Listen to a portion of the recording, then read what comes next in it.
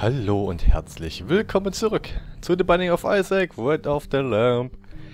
Das letzte Mal hatten wir die Puristen-Challenge endlich mal abgeschlossen gehabt und haben dafür nur einen komischen, was war das, Egg-Sack oder sowas? Einen Eiersack bekommen. Naja, ob das die Belohnung äh, für solche wichtigen Aufgaben ist, da weiß ich mal auch nicht. Es steht noch ein alternativer Charakter an und zwar Fragezeichen, Fragezeichen, Fragezeichen, das Blue Baby. Ähm, ihr seht schon, Herz minus 1. Naja, die Sache ist, dass der Kerl ganz einfach nur... Oh, da ist mir gerade die Leiste aufgegangen. Ähm, die Sache ist, dass der Kerl nur Spirit Hearts hat. Und er kann dementsprechend auch keine roten Herzen einsammeln. Und jedes HP ab, das wir bekommen, ähm, bringt uns nichts außer eine entsprechende Anzahl an Spirit Hearts. Das macht die Sache natürlich jetzt nicht unbedingt einfacher. Und man kann wirklich nur hoffen, Oh, Münzen. Münze, Münze, Münze. Dass wir ähm, entsprechend gute Items bekommen. Bei dir verfolgen Bomben, oder? Homing Bombs? Ja, Homing Bombs. Genau, und fünf Bomben bekommen wir dazu. Das ist, ja... Homing Bombs ist eigentlich eine ziemlich coole Angelegenheit. Also die rennen... Oh. Langsam die Gegner hinterher. Und irgendwie scheint er nicht los zu sein. Endlich mal ein Gegner. Ja, XXX versus Last. Gegen Lust hilft nur XXX, also Pornos. Das ist ja jetzt nichts Neues. Passt natürlich jetzt gerade ziemlich gut. Oh! Pilz hier! Na dann, einmal abkacken. Und dann einmal... Helft down, ist doch nicht euer Ernst. Ach, kommt. Äh, ich glaube, von da kommen wir gar nicht rein, selbst wenn er da wäre. Ich versuche nochmal mein Glück hier.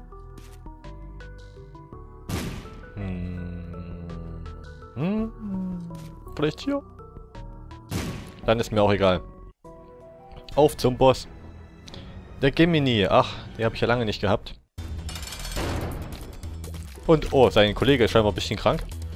Hat sich wohl erkältet. Ja, die beiden sind, naja, ne. Der ist nicht so ultra stark, zum Glück. Und normalerweise mache ich immer erst den großen kaputt und dann den kleinen Kerl. Das macht sich einfach am besten. Ja, hier muss ich mal ein bisschen aufpassen, dass der Kleine mich nicht trifft. Sehr schön. Jetzt hört er auf zu schießen und verfolgt mich. Und normalerweise kann ich den in so einer Position drin halten, wenn ich gut bin. Allerdings nur hier oben am Rand. Oder hier links am Rand. Na komm schon.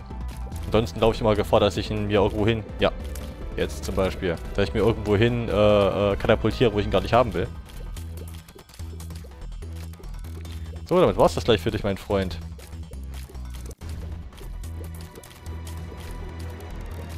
Na, los, los, los. Zwei Herzen, ganz klasse. Und eine Box. Und was gibt's hier? Ein Spirit Heart, das ist natürlich sehr angenehm. Der Burnt Penny. Uh, habe ich es ja gar nicht... Äh, habe ich vercheckt, hätte ich ja vorher aufsammeln sollen.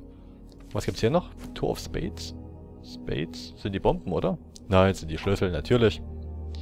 Auch falsch rum gemacht, denn ich hätte zuerst den Schlüssel benutzen sollen. Denn wenn wir keinen Schlüssel haben, dann bekommen wir zwei. Und bitte eine positive Pille. Bombs, Akis, ja von mir aus. Was geht denn hier so? Eine Pille, die nehme ich doch mal mit.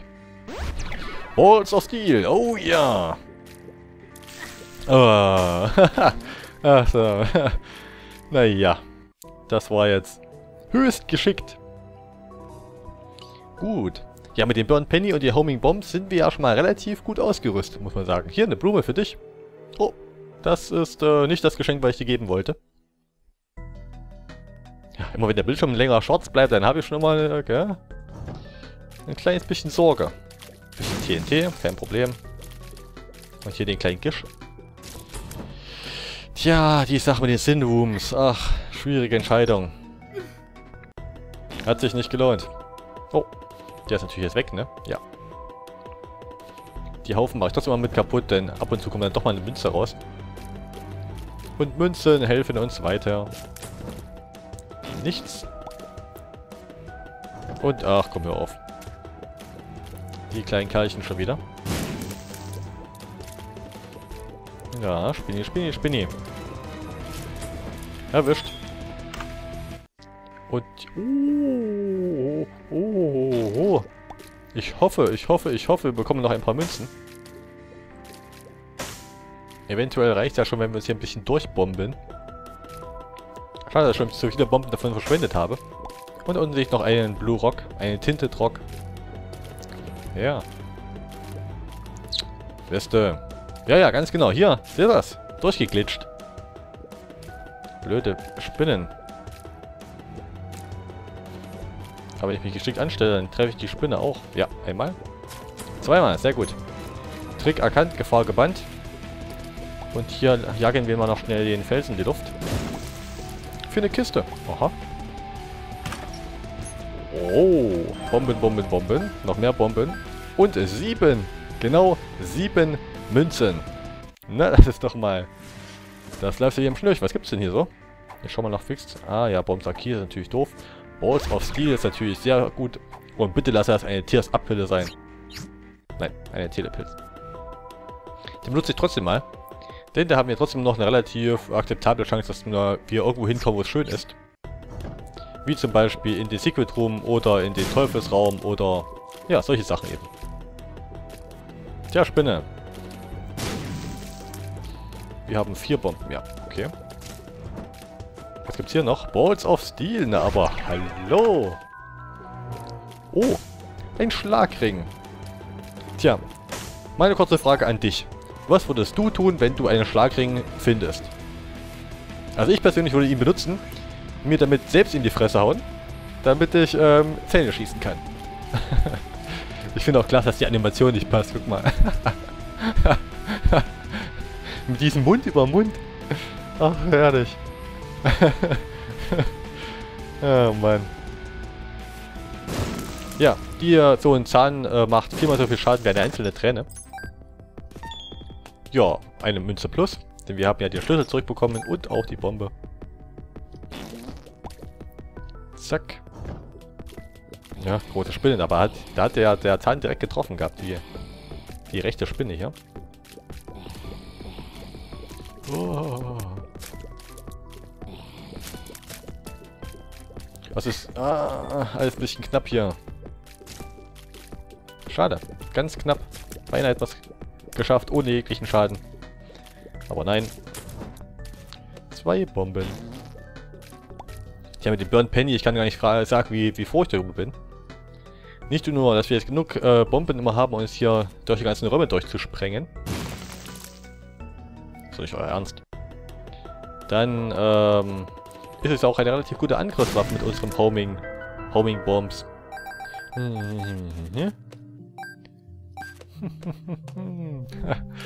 Neun Bomben, alter Schwede.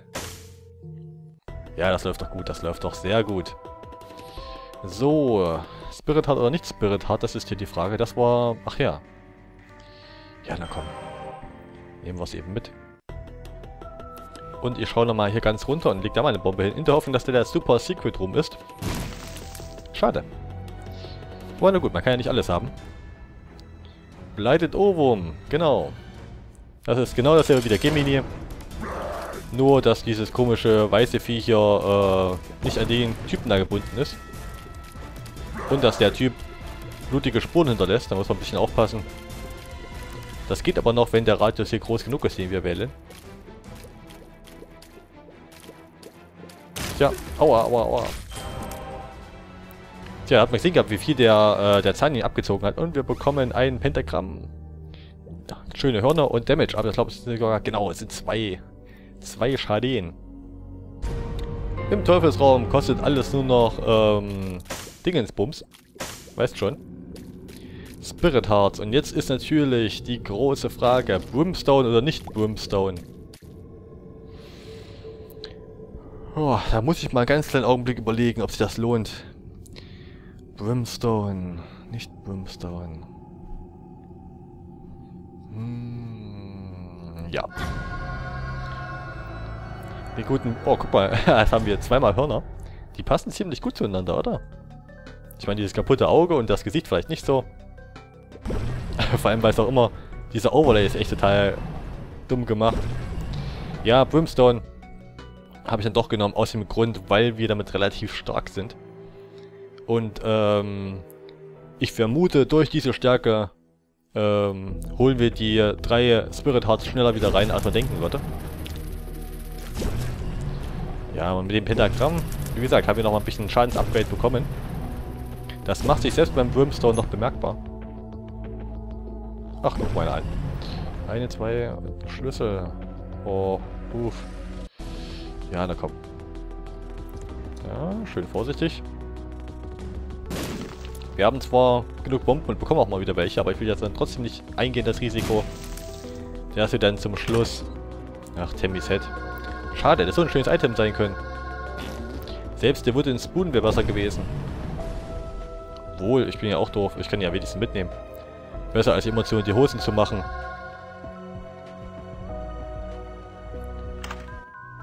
Und was gibt's hier? Oh, hu, hu, hu, der D20. Hallo. Besser als Tammy's Head. Na, da bin ich mal gespannt, wie das klappt mit dem mit dem Würfel. Ah, Vorsicht. Hier explodiert's. Bam. Bomben, Bomben, Bomben.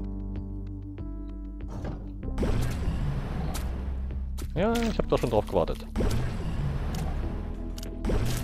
Volltreffer. Und ein Schlüssel, sehr schön.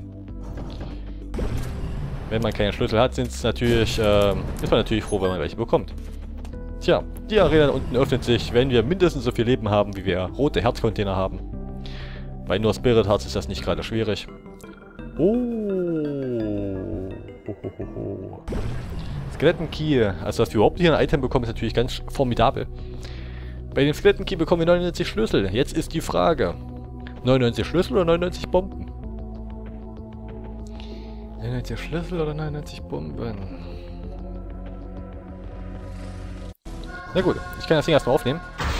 Und dann überlege ich mal, vielleicht sammle ich noch so, sag mal, 5, 6, 7 Bomben. Und tausche die dann. Weil Bomben, damit können wir ja mehr anfangen als mit Schlüsseln. So auf Dauer, meine ich. Zumal wir immer noch die Homing Bombs haben dürften sich so als Angriffswaffe bestimmt auch auf Dauer gut machen. Ach, ihr schon wieder. Schön ausweichen überall.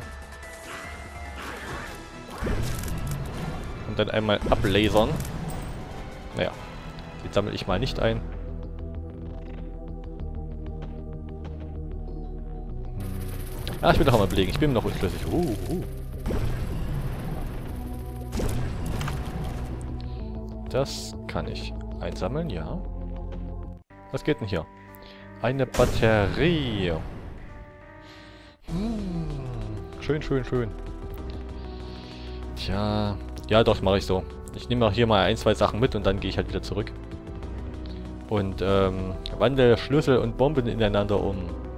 Ich denke, das ist die richtige Entscheidung.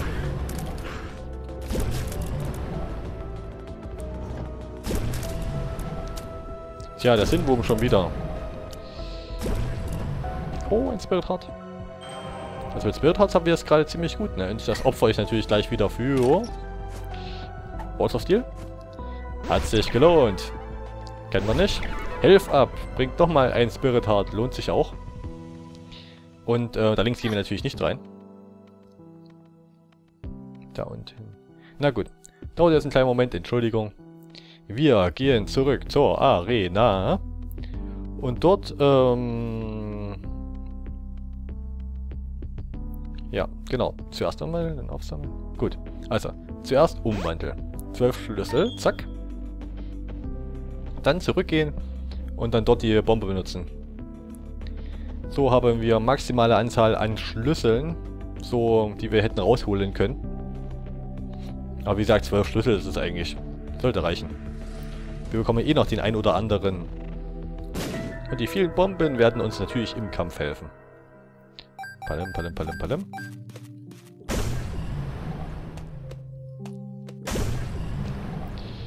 Tja, das konnte ich jetzt natürlich nicht ahnen, ne? Dass da...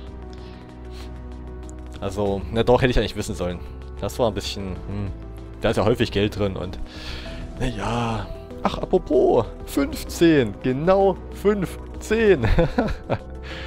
Wie das läuft, ist ja wirklich der Wahnsinn. 9 Volt. Okay, ähm... Muss ich mal mich ein bisschen drauf konzentrieren, dass wir auch noch den Würfel haben. Das mache ich gleich und wir kämpfen. Nein, nicht gegen Chat. Och, Mann. Äh. Warum ich mich darüber so abfacke, ist ganz einfach. Ah, ich kann mal wieder eine Bombe... Aua, eine Bombe benutzen. War bestimmt zu weit weg. Ja. Hat man vielleicht ein bisschen gesehen, dass sie sich hier an ihn anschmiegt. Weil der Penner uns nur den Little Chat gibt und der gibt uns nur Herzen. Und Herzen bringen uns nicht viel. Ich benutze mal den Würfel. Und wir bekommen dieses schöne Item. Tja, der D20 wandelt Pickups um, so wie der normale Würfel vom Isaac, der sechseckige ähm, Items umwandelt. Und dank der Batterie füllt er sich automatisch wieder auf zwei Punkte auf, wenn wir ihn benutzen. So, wir träumen. Tja, wahrscheinlich die Geschichte, wie wir zu diesen äh, untoten der Tierchen geworden sind. Ach, ich bitte euch. So ein bisschen Fliegengedöns. Kein Stress. Was gibt's denn? Eine Bombe? Und hier? Telepathie for Dummies. Na, super. Damit bekommen wir äh, zielsuchende Geschosse, die uns natürlich überhaupt nichts bringen. Und auch der Zahlenschuss bringt uns natürlich jetzt nicht mehr viel, ne? Jetzt, wo wir keine Zähne mehr schießen. Schade eigentlich drum. Aber ich denke trotzdem, der Brimstone ist eine, ist eine gute Alternative. Zumal auch dieses über Berge schießen können, oh, sich durchaus äh, bezahlt macht normalerweise. Zack. Ne, ihr seht es ja selbst. Und ihr wisst es ja auch schon, denn ist ja auch nicht das erste Mal, dass wir hier den Brimstone haben. So, die Bombe will ich eigentlich gar nicht aufnehmen. Na gut. Charger heißen die. Die kleinen Maden hier. Zack.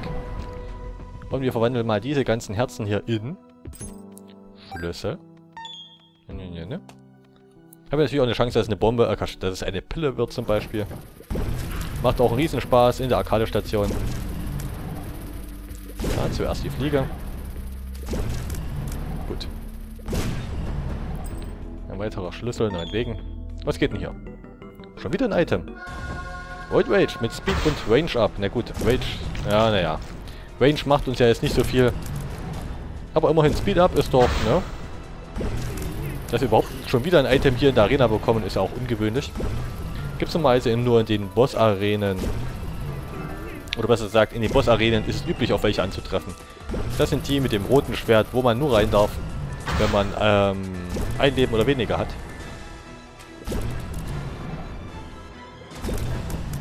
Aber da dürfen wir auch rein mit unseren ganzen Spirit Hearts. Schinken! Tja, auch hier könnte man die Items umwandeln. Eventuell mache ich das sogar mal.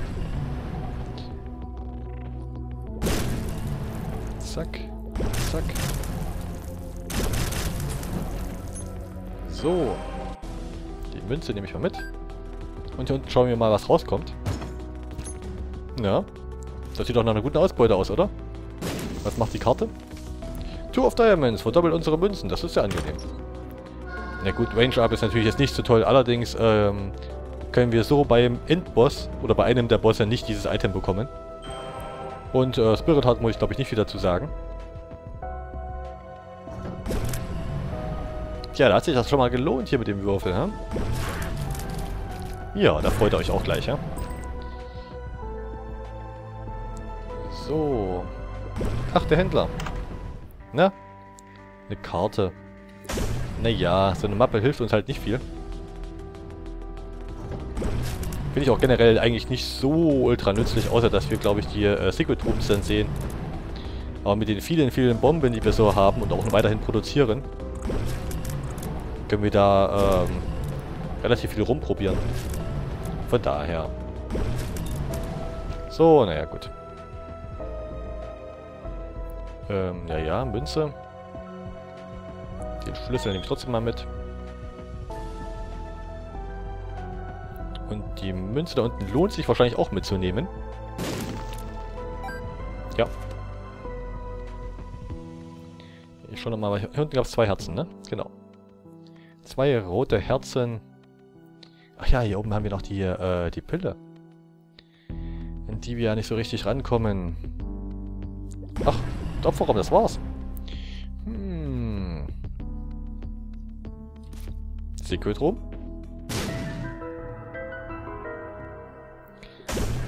Mit Münzen, und zwar sechs Stück an der Zahl.